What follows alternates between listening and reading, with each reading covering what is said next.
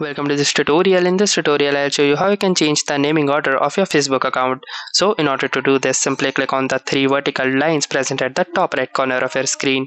Then once you have clicked here, click on the settings gear icon at the top. Then inside the settings and privacy page, you need to click on the Meta Account Center button and it will lead you to the Meta Account Center. From the profiles option, then choose your Facebook profile.